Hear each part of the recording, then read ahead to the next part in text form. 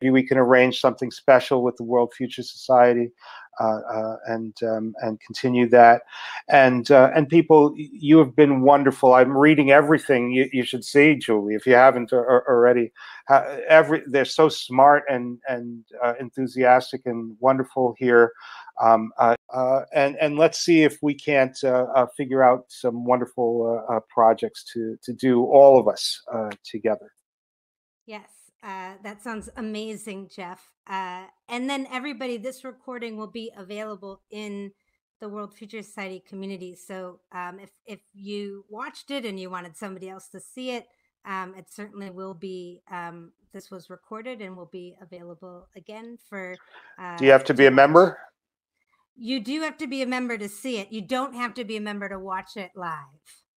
Right, right. So, so anybody, but it's it's not that expensive to join the no it's it is not the uh we tried to what we wanted to do is make it available to as many people as possible yes. so we made the membership as as low as it could possibly be for mm-hmm. the general membership and then for the civ type 1 initiative because there's a lot more co-creating and architecting a civilization type 1 um, and actually building the civilization type 1 and the bridge to get there and getting yes. out of a civilization type 0 um, there's a lot more uh, involved in that. So that's yes. uh, so we, we do um, a lot of work there. So um, so yeah, no, it's not that expensive um, compared to other groups. We wanted to make it available to anyone in the world.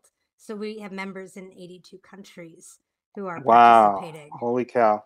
Uh, there there are more people watching now than there were at the beginning of the talk, and and oh, we ran a half an hour later. That's yes. amazing. Well, yeah, apparently they kept telling their friends to come. We, we're, we're fractaling. We're fractaling right now. We're superpositioning. yes.